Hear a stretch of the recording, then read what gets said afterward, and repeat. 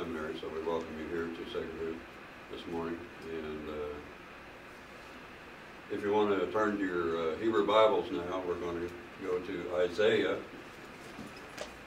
uh, chapter 40, verses 21 through 31. And uh, as always, uh, it has been changed slightly to represent the uh, inclusive egalitarian perspective of the, uh, of the Tsalagi peoples uh, on the Umiwak. So we, we uh, think and speak and live in that way. So, uh, and actually, uh, while I'm talking today, I'm going to pass this book around. It's called uh, The Taos Indians and the Battle for Blue Lake, which I thought talking about this today would be appropriate given the context of the reason that you were here. And there are some pictures in here. And there's another kind of a personal reason, and this is uh, going to have some names and some families in there that uh, my wife and I are actually friends with. And it's been many, many years uh, living near, working with, ceremony with, and I will talk more about that soon. Isaiah chapter 40, verses uh, 21 through 31. Have you not known? Have you not heard? Has it not been told you from the beginning? Have you not understood from the foundations of the earth? It is God who sits above the circle of the earth. And its inhabitants are like grasshoppers, who stretches out the heavens like a curtain, and spreads them like a tent to live in, and brings princes to naught, and makes the rulers of the earth as nothing. Scarcely are they planted, scarcely sown, scarcely has the stem taken root in the earth when he blows upon them and they wither, and the tempest carries them off like stubble. To whom then will you compare God, and who is God's equal, says the Holy One. Lift up your eyes on high, and see who created these. God brings out their host and numbers them, calling them all by name because God is great in strength, mighty in power. Not one is missing. Why do you say, O Jacob, and speak, O Israel? My way is hidden from God, and my right is disregarded by my God. Have you not known? Have you not heard? God is the everlasting God, the creator of the ends of the earth. God does not faint or grow weary. God's understanding is unsearchable. God gives power to the faint and strengthens the powerless. Even youths will faint and be weary, and the young will fall exhausted. But those who wait for God shall renew their strength. They shall mount up with wings like eagles. They shall run and not be weary. They shall walk and not be faint. Our reading today from the New Testament is from 1 Corinthians 9, 16 through 23. 1 Corinthians 9, 16 through 23. If I proclaim the gospel, this gives me no ground for boasting. For an obligation is laid on me, and woe to me if I do not proclaim the gospel. For if I do this of my own will, I have a reward. But it is not of my own will, I am trusted, entrusted with a commission. What then is my reward? Just this, that in my proclamation I may make the gospel free of charge so as not to make full use of my rights in the gospel. For though I am free with respect to all, I have made myself a slave to all, so that I might win more of them. To the Jews I become as a Jew, in order to win Jews. To those under the law, I become as one under the law, though I myself am not under the law, so that I may, might win those under the law. To those outside the law, I become as one outside the law, though I am not free from God's law, but am under Christ's law, so that I might win those outside the law. To the weak, I became weak, so that I might win the weak.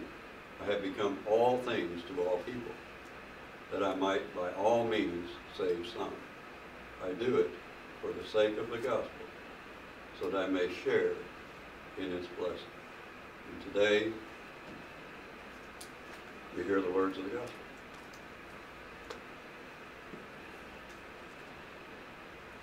Some might find these two readings together in the lectionary a little bit confusing, but believe it or not, it actually makes sense in some ways for me today. If you put it in the context of coming full circle, uh, God strengthens those who ask to be of good service. That's the message Isaiah seems to proclaim to the people. That if you trust in God and support God, in God's will and God's intention in His creation, you will be strengthened to the service, strengthened to the cause. Now, there's kind of different ways of looking at that, as always. And I want to I want to think about it in the context of why we're here today and this week in respect to the winter talk, which is about exploring the doctrine of Christian discovery. Um, when we think about it in those terms, we, we recognize the legacy of European Christianity in North America has been one of not only here in North America, but around the world, of creating Christian empire, of taking what doesn't belong to people, forcing people to convert against their will, uh, basically using tyranny and oppression to bring these things about, rather than inspirational example setting, and is you know making people want to be a part of that community. And when we put it in that context, I look at Isaiah and I go, well, what does that mean to those of us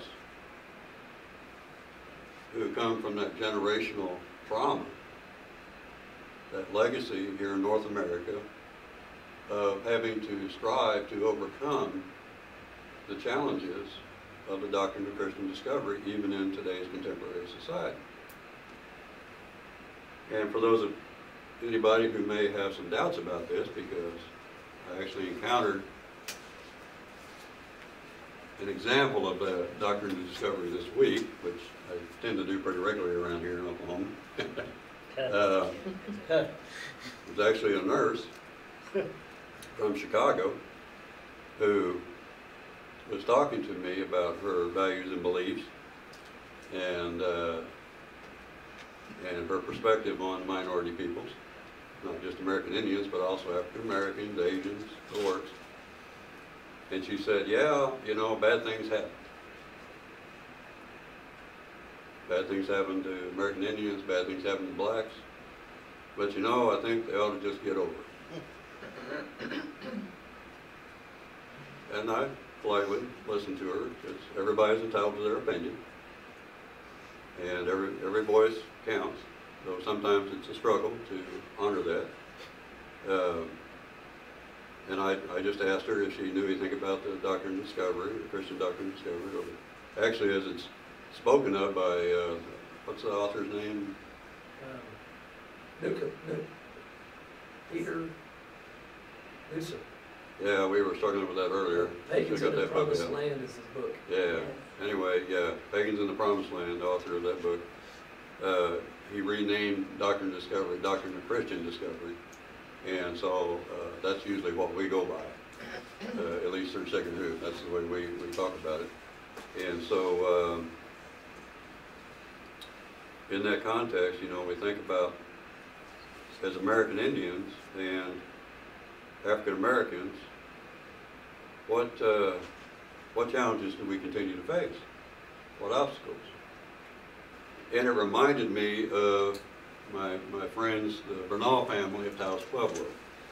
And I thought I might need to provide an example of the influence of what it means to come full circle and exactly what Isaiah is talking about here about God supporting those who believe and trust in God and giving them the strength, the courage, and the endurance to keep the faith and keep the work going. And nobody that I can think of off the top of my head in my lifetime that I know of, you know, medicine elders and people I've learned from, uh, besides this one individual, his name is Paul Bernal. And his brother, grandfather uh, Louis Bernal, was a Kiva chief at Taos Pueblo, a very good friend of mine and my wife and her family. And actually, uh, what you see here, this, this was hers, and, and this was his, passed on to me in that good way. And so, uh, we come in this way thinking about what uh, Paul did for his people. 65, it's almost 70 years ago now, maybe longer now, I have to sit down and do the math. But long time ago, the fight, the struggle to reclaim Blue Lake, the sacred waters of the Taos Pueblo people, began because it was stolen from them by the Forest Service to be turned into a national park named after a brutal murderer, Kit Carson. And right or wrong, good or bad, the Taos Pueblo people believe that they emerged from Blue Lake. To them, it is sacred ground. It is where they go every year to renew themselves as a people. And it was turned into a tourist attraction. These people have been going and doing these ceremonies and rituals, They've been honoring that lake and using the waters from that lake to water their lands, their crops, their livestock for centuries. And literally overnight it was gone. It turned into a public park that were being trashed. 60 years. The fight continued with Paul Bernal leading the way. For 60 years, he struggled against Congress, politics, entrenched theology, polity, laws that prevented that ground from being where to being belonging to the people it should belong to The people who had taken care of it, watched it, used it, lived it, depended upon it for their survival.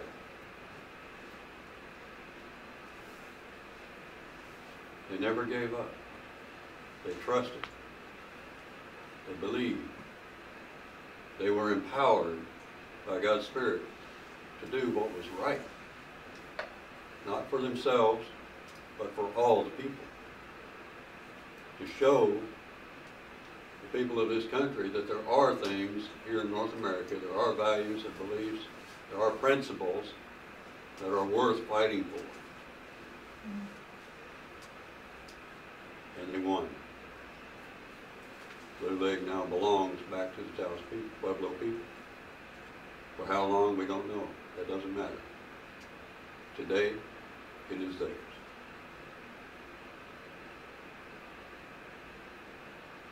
And that's what Isaiah was talking about.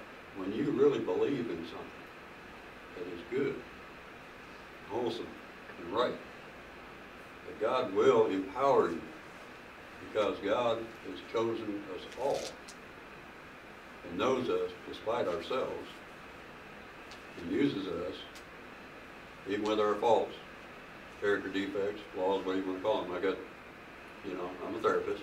I'm a chaplain, what am I gonna do? I mean, I speak in those words, I think in those terms.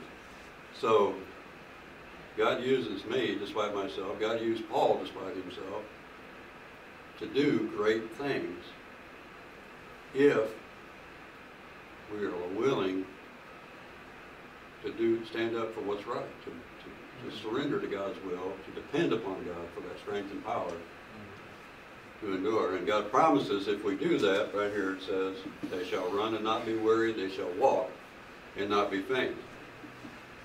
Okay, we have to be a little imaginative about that because at my age and disabilities, I don't run much anymore. I don't know about you, but I don't. I do walk, but I'm doing a lot better than I was a few years ago. Because I went into renal failure a few years ago and God said, you're not done yet. And wonder of all wonders, my wife gave me one of her kidneys and everything's good. It's been almost four years now, about three and a half years now. And here I sit. So God keeps God's promises and supports those who give of themselves in humble service. In the doctrine of Christian discovery, challenges the history and the legacy of American Christianity to rethink its priorities. Are they consistent with what God is calling us to do? And for that, we turn to Paul.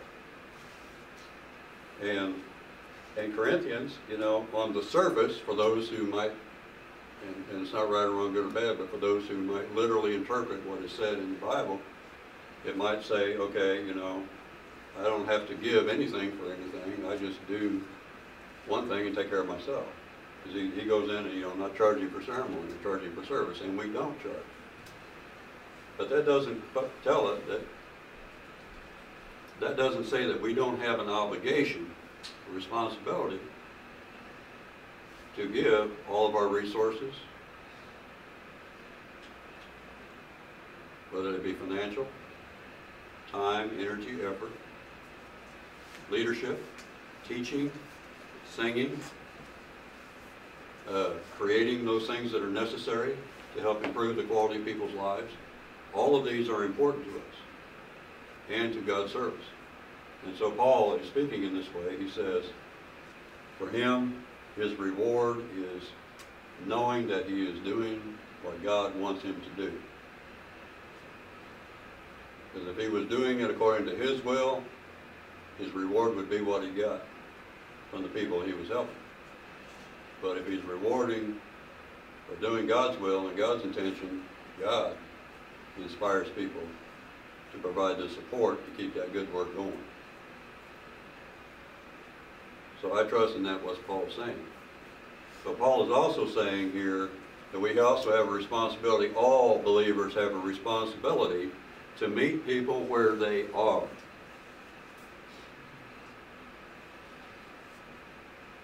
We call that cultural competency. We call getting down in the dirt. When I was living in New Mexico, there was a song that was very popular and it was very uh, humbling in one respect because it reminded us that we all put our, own, our pants on the same way each day, that everybody's pretty much equal. And whenever anybody was getting a little bit prideful, arrogant, a little haughty, somebody would look at him and say, chop wood and carry water. Because that's something everybody had to do. We all had to chop wood and we all had to carry water. And then we remembered. Hey, we're all just people doing the best we can each day with what we know how. And Paul is charging us to remember that ourselves. Even though we are chosen to do this teaching, it is not, doesn't make us special. It makes us different. We have a responsibility to meet people where they're at, regardless of culture, beliefs, heritage, whatever. Now, Doctrine of Christian Discovery says different. Says everybody's got to be like us. But that's not what Paul's telling us. Paul's saying that he himself became like the people that he was reaching out to in order that they may understand and trust him. And I can tell you from my own experience in my many travels and many years of service in many different nations around the world and across North America. Uh, I've lived there and I've worked on uh, many different nations. And I can tell you from my own experience that nothing pleases people more than for me to make an effort to learn their culture, to learn a little bit of their language. They don't expect me to learn everything, but it makes them feel good about me that I respect them. And I demonstrate that by showing that their way of doing things has value, in as much as I believe that what I do has value as well. And they were more willing to welcome me into their homes, into their gatherings, into their ways. And if I had come along and said, hey, you're doing it wrong, and this is how you're supposed to be doing it,